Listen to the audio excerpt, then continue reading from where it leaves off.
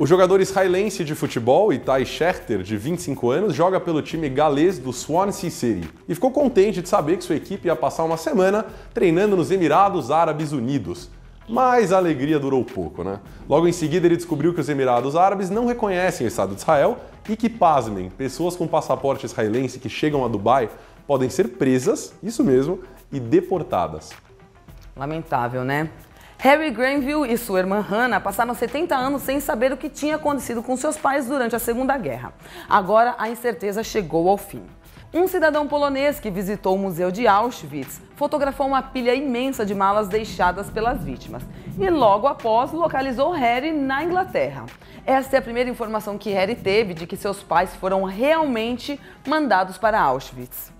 O presidente da França, François Hollande, condecorou o presidente do Congresso Mundial Judaico, Ronald Laudet, com a Legião de Honra, chamando-o de um homem de paz, de cultura e de compromisso.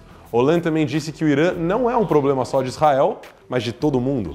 Em resposta, Ronald Lodé apelou à França para apoiar a iniciativa de colocar o Hezbollah na lista da União Europeia de Organizações Terroristas, seguindo a evidência apresentada pela Bulgária que o movimento xiita esteve envolvido no atentado recente a turistas israelenses. Israel já tenta colocá-los na lista de terroristas há muito tempo.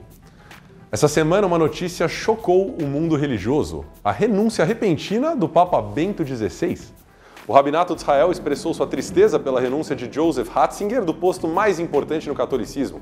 Para os rabinos, esse Papa pode ser considerado o melhor amigo que o rabinato já teve no Vaticano. O rabino-chefe Ashkenazi, Yona Metzger, que aliás esteve recentemente em São Paulo para uma bar mitzvah, disse também que as relações entre o Estado judeu e o Vaticano nunca foram melhores.